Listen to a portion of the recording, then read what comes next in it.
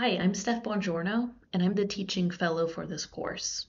So what that means is that David and Simon will be giving a lot of really amazing lectures, as well as coordinating guest lectures, and I will largely be in charge of answering your questions, offering guidance, and putting together additional instructional materials. I also teach the workshops in the summer, where we treat programming as a tool for analysis in the humanities. What I love about courses like this one is that they encourage their participants to ask the kinds of big multidisciplinary research questions that they may have always been curious about, but maybe didn't have the background or the resources to ask them. And it's really such an honor to go on this process of discovery with you. So, a little bit about me I am an academically trained software engineer.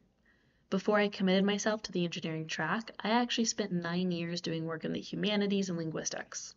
So I love art, critical interpretation, and stories.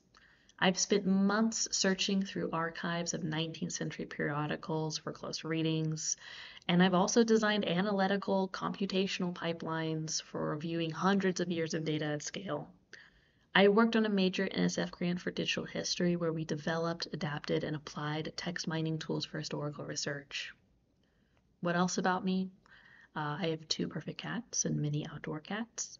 Uh, so if you didn't quite have a feel for who I am as a person, I'm sure that gave you a clearer idea. Anyway, it's great to have you here, and I look forward to working with you over the course of the semester. If you have questions, please feel free to email me or to post your question on the Complexity Explorer.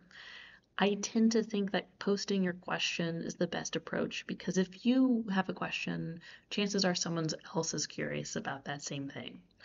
Thank you so much, and I look forward to a productive semester with each of you.